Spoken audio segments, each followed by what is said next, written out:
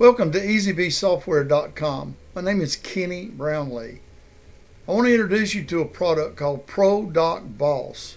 It's a document management filing system. It's a Windows PC desktop platform.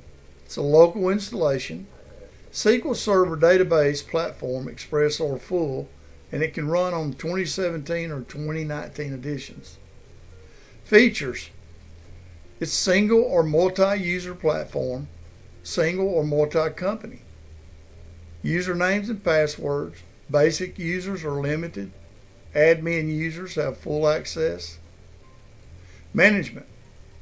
You can manage your company table, your clients table, agents table, documents manager, agents manager, users and email accounts, email body manager. Document applications. It's your popular applications Word and Excel, Publisher, PowerPoint, WordPerfect, Adobe, any image file, and Quattro Pro. Up to five custom applications can be set up. System management for each company. System makes copies of documents and stores them in customized local or network shared paths. Manage those storage drives and paths. Customize application executable file names. Manage case ID starting point, your client ID starting point, and your folder ID starting point. Clients and document management.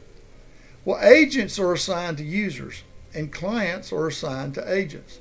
Basic users only have access to their clients, while administrator users have full access to all clients. You can use an agent manager program to control or manage those assignments. Document Manager is accessed from the client screen or from the DocBoss screen. Email from both the client or DocBoss screens. Email directly from within ProDocBoss or email into Outlook Draftbox. Customize email body forms. You can set up to 12 email body forms that can be imported into email during that process as HTML format. Email from client inserts project title. Emailing from the doc boss inserts document title and attaches that document. Well, let's take a look at the program. We'll come back to this screen later. I'm going to log in. It's a seven-day trial once we get it installed. I'm going to log in as the basic admin account, and the password is lowercase admin. I'm going to log in to company one. I'm not going to go over the administrator stuff. I'm just going to show you the core of this program. So I'm going to go into the clients file. And I could look up a client by name and address, uh, the account number, the case ID number, uh, if I wanted to, or I could just list all, which is what I'm going to do. Well, I'm going to go into this uh, first account. And because I'm not in edit mode, I can go into the DocBoss and just view or go into that document management to view and work with uh, the documents for this client. Let me pick another client. I'm gonna I'm gonna get this client.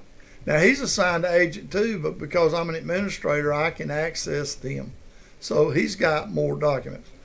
So as you can see, you can have as many documents as necessary for each client. Uh, once you get the documents copied into the filing system, you can open them for here. For example, and it's back behind me and there it is uh, I'm just going to bring the DocBoss back up I could open up another document if I wanted to let's open up that Adobe document. Okay? So I'm, i can do whatever I, I need to do with them and I'm just going to close them close them out. Once I'm done with them I can say do whatever I need to do. Now if I wanted to email from here I just click email. Well, it's telling me that it's I need to refresh because it won't let me email it if there's a document open. So, yeah, as you can see, it's automatically attached that PDF file, and I can send out an email. Okay. let me exit out. That's that's really the core of the program. I mean, that's essentially what it's doing. And again, I'm in the client file maintenance section, so I'm going to quit out of that. I could go directly to the document management system and just bypass client altogether and actually just pull up that uh, the document management for this particular client. And I can add, let me just add one just to show you how that works.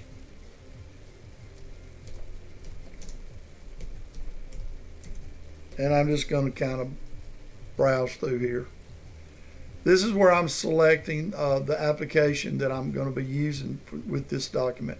And as you can see, I can set up five custom applications that may not be listed here on this screen. So let's just do another Adobe. And then this is going to open my documents to the last place this browse window was. And this is, this is going to show me Adobe files. Okay, as you can see.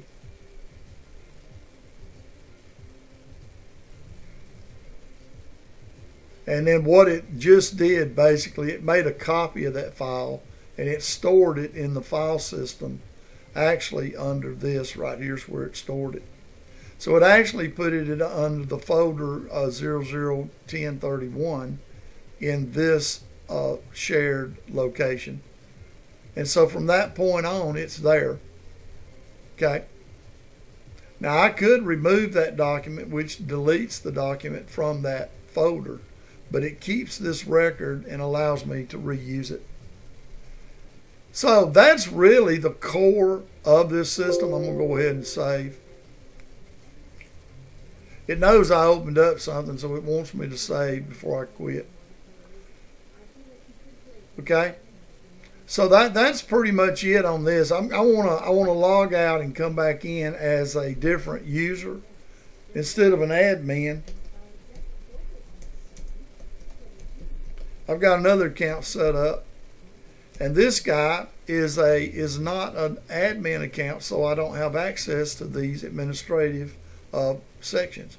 But I can add clients, and I can uh, you know manage documents. Now the thing about this, I'm I'm an agent. I'm assigned to agent two, so that's really all I can see.